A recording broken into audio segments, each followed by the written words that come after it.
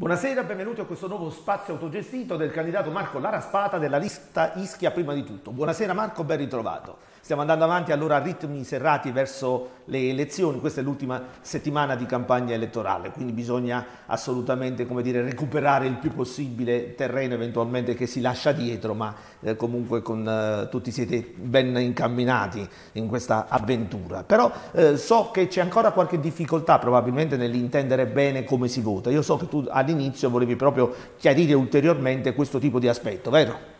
Sì, buonasera a tutti i telespettatori. Eh, Amedeo, il, um, io ho incontrato alcune difficoltà nella gestione proprio del, del, del voto, praticamente, eh, non, non, riuscendo anche fisicamente ad andare a spiegare ai miei futuri elettori il, il modo in cui si deve votare, eh, vorrei, mh, mm, vorrei approfittare di questo spazio per dare anche questo servizio utile alla comunità. Eh, io mh, faccio vedere di nuovo questa scheda che già precedentemente abbiamo fatto vedere.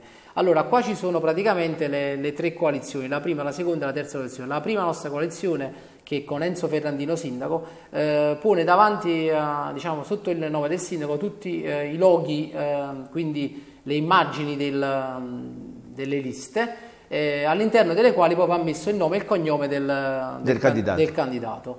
La cosa importante che bisogna fare è questa qua, cioè non bisogna, eh, non bisogna votare o due donne o due maschi all'interno della stessa lista, oppure non bisogna votare eh, un, una persona di una lista o di un'altra lista.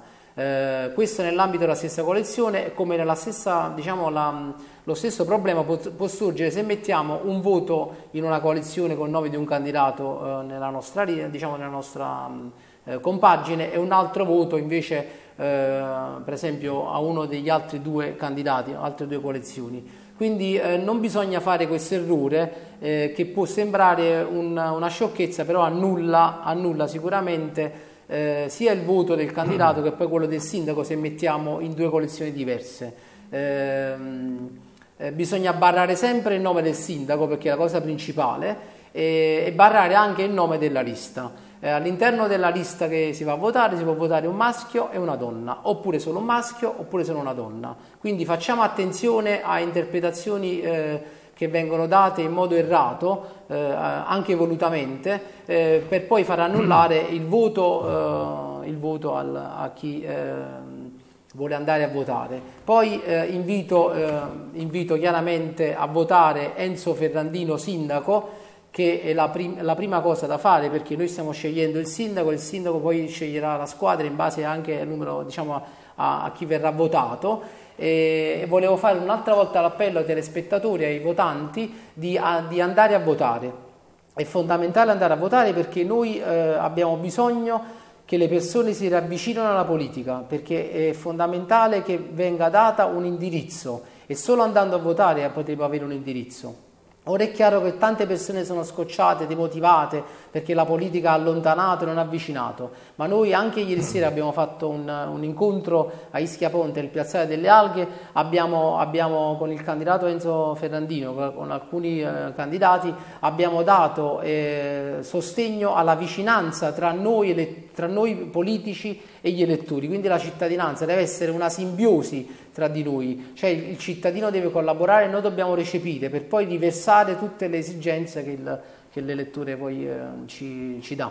È bene chiarirle queste cose perché è giusto eh, per evitare ogni tipo di problematica o di dire, affanno o di imprecisione. Però ecco, la cosa più importante in tutto questo mi veniva in mente, tu con la tua attività sei sempre così attivo, così preso, come fai in questi giorni di campagna elettorale a coordinarti tra l'attività professionale e l'attività politica? Allora io dico sempre che volere e potere in tutte le cose e, e, dico anche una cosa in latino, dictum factum, no? detto fatto, nel senso che bisogna essere abbastanza pratici. Io stamattina mi sono alzato alle sei e mezza, ho aperto la mia attività, eh, nei giorni scorsi ho, ho, postato anche una mia foto vestito col, da cellista perché io facciamo, facciamo tutto, no? siamo in prima persona a fare azienda e, e scrivendo proprio in modo simpatico, se no tutti i candidati girano a chiedere i voti nelle case, io sono qui a lavorare, però è anche un modo di far sentire la mia vicinanza perché eh, chiedere il voto lo si può fare anche da lontano. Eh, avere, una, una, avere, stima la si può ricevere anche da lontano, non è necessario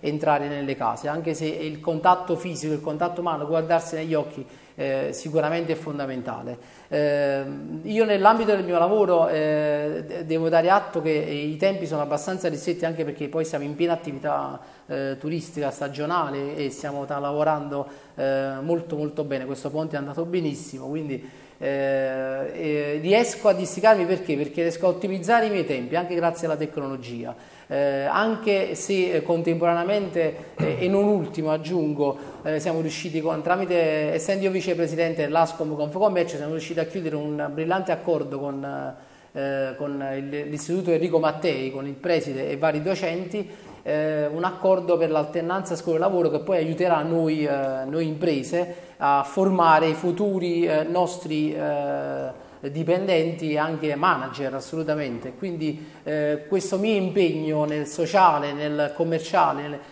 nelle attività produttive, poi mi, per me è un automatismo, viene riversato in modo automatico perché io lo faccio perché è una cosa che mi viene in modo naturale, quindi mia, questa mia simbiosi tra attività sindacale, eh, attività lavorativa e futura attività politica, se i, eh, i nostri concittadini mi premieranno, eh, mi, viene, mi, mi, viene, abbastanza facile perché sono cose naturali che io faccio, quindi non è che faccio tantissimi sforzi in più. Diciamo che il tuo contatto diretto tenti di sopperirlo con questi interventi televisivi che eh, mi auguro servano quantomeno ad entrare nelle case degli ischitani, almeno spero che tu abbia avuto qualche guarda, riscontro ieri, delle sì, nostre sì, chiacchierate. Guarda, ieri, ieri, sera ho avuto a Ischia Ponte una, una, una piacevole e lungimirante eh, eh, e lusinghiera, aggiungo, eh, un parlare no, con delle persone di, diciamo di, di, una certa età che hanno riconosciuto che, eh, e mi hanno fatto i complimenti, eh, io mi sono fatto pure un po' rosso, di la verità perché eh, sono abbastanza sensibile sotto questo aspetto, mi hanno fatto i complimenti, dicevano no io ti voto, io ti voto perché ti, ti abbiamo visto per televisione, sei un ragazzo che eh, che è pulito, che dice quello che sente, quello che prova in modo naturale. Quindi per me la televisione adesso è un, è un valore aggiunto che sopperisce questa mancanza, non sul territorio perché sono presente sul territorio, la mancanza politica forse di andare casa per casa. Senti, parliamo di attività produttive. Diciamo che lunedì prossimo a conti fatti, eletto in consiglio comunale, quale può essere il tuo impegno adesso, oltre che nel sociale, adesso anche nel politico, ecco, in amministrazione, per quanto riguarda il tuo mondo, le attività produttive? Che idee hai? Guarda, noi con, con, con, Enzo Ferrandino abbiamo, in questi mesi abbiamo lavorato sul programma e abbiamo dato delle linee, delle, delle linee di politica commerciale che sono, presumo, fondamentali e abbiamo discusso di tanti argomenti. Uno degli argomenti che secondo me bisogna essere sensibili eh, in modo parallelo perché bisogna essere anche equi eh, con tutto quello che è il mondo commerciale. Eh, abbiamo, almeno io ho, ho, ho cioè, con i numeri della Confcommercio, Abbiamo tantissime attività che sono ultra quarantenni. Io, la mia attività eh, quest'anno fa 60 anni di storia eh, e come me ce ne sono tantissime altre. Allora noi abbiamo, abbiamo in mente eh, di, eh, di, di, salvaguardare queste aziende storiche. Eh, ci sono tantissimi modi eh, con cui possiamo operare che poi andremo a, a trovare nello specifico con anche con un tavolo di concertazione con, con le associazioni stesse. Eh, però parallelamente dobbiamo pensare anche ai ragazzi, ai giovani, no? perché io devo, devo, immaginare un ragazzo che ha 25-26 anni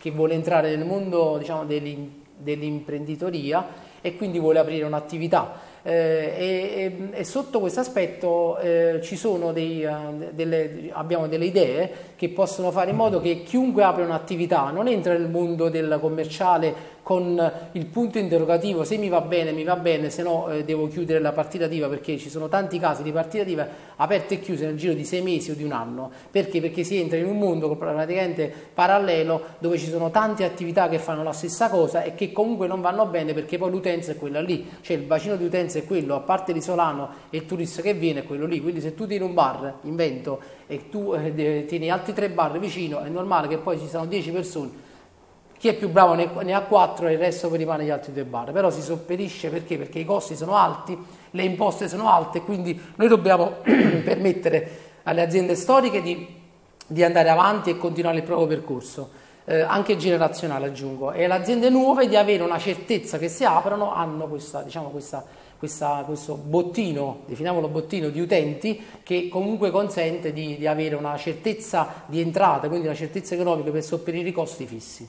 Quindi idee ben chiare per lo sviluppo praticamente, per nuovi investimenti, salvaguardando le aziende Ma storiche. vedi Amedeo, noi, noi viviamo, viviamo eh, tutta la nostra coalizione, eh, siamo tutta una serie di, di rappresentanti, no? tutte persone che comunque viviamo giorno per giorno l'isola, la viviamo dentro l'isola, viviamo dentro, dentro tutti i meccanismi, dentro, e siamo in mezzo alla popolazione e conosciamo benissimo quali sono i nostri difetti, perché abbiamo difetti e ne riconosciamo e, e anche i nostri pregi. Dobbiamo, eh, aumenta, diciamo, dobbiamo dare visibilità ai nostri pregi e eliminare poi questi difetti. E abbiamo anche eh, sicuramente eh, eh la, eh, la, cura, se così vogliamo definirla, certo. no? Abbiamo tutto sotto controllo, il, il sistema lo, lo conosciamo bene, dobbiamo solo riuscire a essere operativi.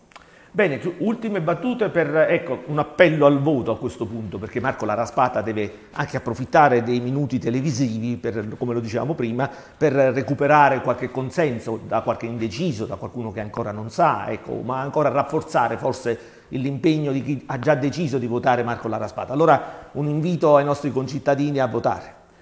L'invito che faccio è molto semplice, è un invito che deve premiare l'umiltà, la coerenza, eh, l'abnegazione e poi la volontà di fare. E queste sono quattro cose che per me sono fondamentali, oltre l'onestà che poi pubblicizzo nella mia, eh, diciamo nella mia campagna elettorale. Eh, io chiedo di essere votato solo per questi, questi, pochi motivi, perché sono motivi per me di vanto, perché sono dei valori che oggi eh, difficilmente si trovano e che io vorrei in qualche modo anche eh, eh, trasmettere eh, sia eh, alle generazioni future che quelle là che sono anche accanto a noi laddove non esistessero.